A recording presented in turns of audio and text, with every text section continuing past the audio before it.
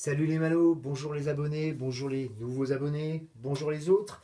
Très content de vous retrouver comme d'habitude. Il est arrivé le Stormtrooper classique en premium format de chez Sideshow. Comme d'habitude, un petit tour rapide de la boîte, très rapide puisque il n'y a rien à en dire, il n'y a pas de détails particuliers, pas de flamboyance particulière.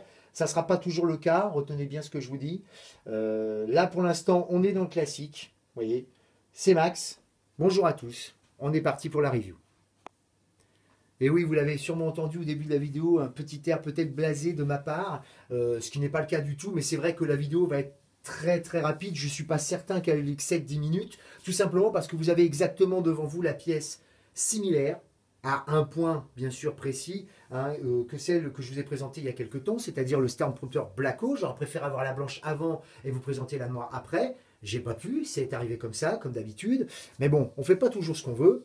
Ce que je veux dire par là, c'est que que ce soit dans la taille, dans la pose, dans le socle, dans tout est exactement le même, la même chose que euh, le black hole, à part bien évidemment la nuance importante, la couleur, euh, mais pas que dans la couleur, il y a aussi la manière dont ils ont, ils ont, ils ont fait le paint de, l'armure, puisque euh, quand on a cette pièce-là une fois assemblée, on a l'impression qu'elle est carrément en porcelaine. C'est vraiment le cas. Moi, mon ami s'est fait surprendre. Une fois que je l'avais monté, elle m'a dit mais ils ont fait tout en porcelaine. non, non, pas du tout, du tout. C'est bien, bien de la résine, hein, c'est bien du, du, plastique à certains endroits et tout. Mais par contre, ça a été extrêmement bien travaillé, ce qui faisait défaut énormément au black hole. On est bien évidemment au, dans, sur une pièce qui est nettement au-dessus du black hole, euh, en tout cas pour moi. Attention, je déteste pas le black hole, mais c'est simplement une pièce différente. Euh, celle-ci est vraiment euh, dans le classique, et puis toute la nostalgie qui ressurgit après quand on voit cette pièce-là. Comme d'habitude, vous avez cinq pièces, enfin cinq pièces, la pièce arrive en cinq parties. Le socle, le personnage, les deux mains et la tête. je vais vous d'ailleurs vous détacher la tête pour vous montrer le détail. Encore une fois, j'essaie d'être le plus précis possible. Voilà un petit, une petite mise au point. Voilà. Alors, les petits détails, notamment, vous voyez, les, petits traits, les petits traits, tout ça, les, les, petites, choses grises, même à l'arrière, sont beaucoup plus visibles que sur le black hole. Ça aussi, le problème du black hole, c'est que même quand il y a ce genre de petits détails-là, ben, vous ne les voyez pas forcément. Euh, c'est vraiment, vraiment magnifique. Alors, il y a un autre quand même désavantage par rapport à celle-ci. Notamment quand vous la déballez, c'est que vous vous rendez compte immédiatement que cette pièce-là est super, super fragile. Mais je vais y revenir. Euh, je vous montre l'intérieur. Pareil, vous avez cet ergot-là qui n'est pas du tout mobile. Donc je vous dis, vous posez la tête comme ceci. Euh, je vais refaire une petite mise au point. Voilà. Euh, ça s'emboîte directement. Hein, c'est pas un aimant, mais bon, elle est mobile de gauche à droite. Mais ça, ça s'arrêtera là. Hein. Rien d'autre n'est mobile. je vais faire une petite édition, vous faire le détail précis, et puis vous détailler les petits avantages et inconvénients de cette pièce-là. Donc voilà. Alors donc le petit détail par rapport au black hole quand vous la déballez, euh, et d'ailleurs au déballage j'ai oublié de vous dire quelque chose, c'est qu'en plus des pièces que je vous ai parlé, vous avez aussi la ceinture que vous voyez là, euh, voilà là, et cette petite sacoche qui est derrière à mettre aussi. C'est un petit détail, mais bon je voulais quand même le mentionner. Donc je disais, pour éviter, si vous voulez, la peinture qu'ils ont mis est tellement fragile qu'ils ont mis des espèces de petites plaques de plastique euh, en souple pour protéger la pièce. Euh, pas pour la protéger plus de ce que le black hole, mais simplement, enfin, je parle pour les coups, mais simplement à cause de la texture de la peinture, parce que c'est une pièce qui est en, une pièce très brillante et qui souffre des échauffements. Euh, c'est-à-dire que si vous voulez, ça va au frottement. Voyez, je vais essayer de vous montrer. Moi, je l'ai eu très très peu à un endroit. Ça se voit quand même. Je vais essayer d'être précis. Je vais vous faire un petit zoom. Je ne sais pas si vous voyez. Voilà, juste à cet endroit-là ça se voit un peu. Alors ça se voit parce que bon, moi je suis quelqu'un d'un peu maniaque, comme à peu près tous les collectionneurs. Ça se verra pas tout le temps. Par contre, je sais qu'il y en a qui l'ont eu sur le dos, vous voyez, qui l'ont eu derrière, qui l'ont eu sur les jambes, sur les bras. Euh, ça fait comme des points noirs. effectivement, ça fait vraiment, c'est vraiment, c'est vraiment sale quoi. Euh, ça c'est une pièce. Je vous dis, voyez, regardez par exemple, il n'y a, pas grand chose, mais le moindre petite chose s'y attache, le moindre statique se colle dessus.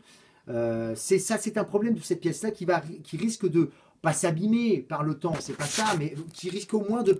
Le moindre coup va prendre une proportion euh, euh, incroyable au niveau de la résine. Et c'est vrai qu'une fois qu'on l'a, on a vraiment l'impression que c'est de la porcelaine. Quoi. Elle est vraiment, vraiment à tomber par terre. Alors, par contre, le noir que vous voyez là, c'est tout à fait justifié. Hein. C'est tout à fait normal. C'est pour le weathering, pour les bottes. C'est tout à fait normal. Hein. Vous étonnez pas, c'est pas un défaut de la pièce. Voilà. Euh, donc toujours pareil, le petit collant. Je suis désolé de me mettre là, mais vous voyez, toujours un petit collant mis sur la potence là en résine. Et ensuite, ils mettent la, la, pièce et qui s'amuse à, peindre. Je ne sais pas exactement si c'est une peinture ou si c'est carrément une. Je pense pas que ce soit une peinture. Je crois que c'est vraiment des pièces moulées carrément directement blanc, euh, directement blanches et qui n'ont pas besoin de retoucher. Et c'est vrai que vous voyez, regardez bien le, casque. Il y a les détails que l'on voit pas dans le, qui sont sur le black hole aussi, mais on les voit vraiment de manière très succincte. Là, on les voit vraiment bien.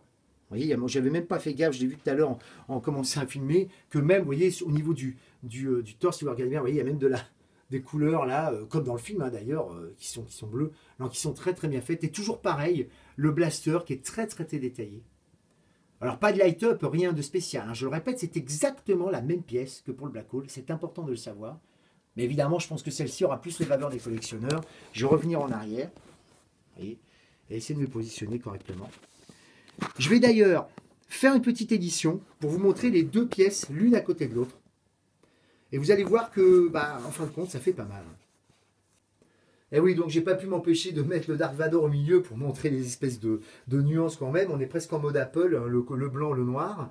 Euh, alors, petit détail important quand même, il faut savoir que même si c'est celle-ci qui risque d'avoir le plus de préférence pour les gens, c'est quand même le Black Hole qui va lui être très très vite épuisé. Il faut bien le savoir, celui-ci est tiré à 2500 exemplaires. C'est d'ailleurs, je ne vous ai pas montré le dessous du socle, mais il y a le nombre de numéros de marqués. Je crois que c'est le 95e que j'ai là sur les 2500 dans le monde. Alors que le blanc n'a pas de numérotation. Ça veut dire qu'ils vont continuer à le faire et refaire des éditions quand il n'y en aura plus, jusqu'au moment où ils vont l'arrêter. Mais au moment où je vous parle, la noire sera, enfin le, black hole sera sûrement celle qui va disparaître le plus rapidement de la circulation. Donc méfiez-vous si vous êtes vraiment collectionneur et vous regardez ce genre de détails la, black hole va disparaître sûrement plus vite. Par contre, je le répète, c'est vrai qu'il n'y a pas de light-up, il n'y a pas une grosse différence en dehors de la nuance de couleur, bien évidemment, qui change. Hein, voilà. Ça, c'est peut-être un petit détail. Euh, si vous voulez, je l'ai dit depuis le départ, la black hole est la version exclusive de cette pièce-là. Voilà. Oui, parce que, petite parenthèse, c'est aussi une variante de la part de chez Sideshow. Euh, d'habitude, ils sortaient l'exclusive, ils mettaient en vente l'exclusive et la régulière. Maintenant, ils mettent, enfin, en tout cas pour les envois, l'exclusive part en avance. C'est-à-dire que euh, là, par exemple, le Superman qui commence à arriver aux États-Unis, c'est la version exclusive qui est livrée. La version régulière n'est pas terminée. Enfin, n'est pas terminée, en tout cas, n'est pas livrée. Donc là, c'est un peu pareil pour Star Wars et puis pour, les autres pièces. Donc c'est, pardon, c'est important de le savoir. Voilà. Euh, bah écoutez, la vidéo, je vais refaire une petite édition. Vous avez vu un petit peu ce que ça donne. Je vais faire une petite édition pour vous montrer la pièce. Mais bien évidemment, la vidéo va s'arrêter euh, pratiquement tout de suite. Donc voilà, oui, vous voyez, on n'est pas à 8 minutes et la vidéo va déjà se terminer. Donc je lui dis, hein, c'est une pièce principale euh, pour une collection de Star Wars, une pièce totalement réussie, pas de défaut particulier. Euh, faire très très attention à cette résine qui, je répète, la couleur, je pense, fait partie intégrante de la résine. Ça n'a pas été peint, à part bien sûr pour les petits ajouts de gris, là, euh, comme vous voyez là, ou de noir pour le devant du casque. mais tout le reste, je, fais, je crois vraiment, ça fait partie intégrante de la pièce. Et donc, bien évidemment, c'est une pièce qui va se marquer dès le premier frottement. Pas besoin d'attaquer la matière pour avoir un problème avec. Donc faire très très très très très attention. Voilà, maintenant d'un autre côté, on est collectionneur, on ne l'est pas. Hein. C'est évident qu'il ne faut pas se balader avec cette pièce-là sous le bras toute la journée. Donc voilà, au niveau prix, dans les 230 euros, je crois, 240 euros, je l'ai eu chez Marc de Figurine Collector. Allez visiter sa boutique, hein, toujours. Euh, mais c'est vrai que, bon, évidemment, elle est un peu, moins, un peu moins chère que la Black Hole, mais je le répète, c'est normal, puisqu'elle est numérotée, la Black Hole, ce qui n'est pas le cas de la classique. Donc c'est important de le souligner. Voilà ce que je pouvais dire sur la Stormtrooper classique euh, premium de chez Sideshow. Restez connectés car dans les prochains jours, aux premières semaines, il y a une pièce de fou non premium, toujours chez Sideshow, toujours sur Star Wars qui va arriver. Et là, on est sur le cul, en tout cas moi je l'ai été, dès l'ouverture du carton. Donc euh, je ne vous en dis pas plus, restez connectés. La review du Stormtrooper classique est terminée. C'était Max, portez-vous bien et à bientôt pour la prochaine vidéo.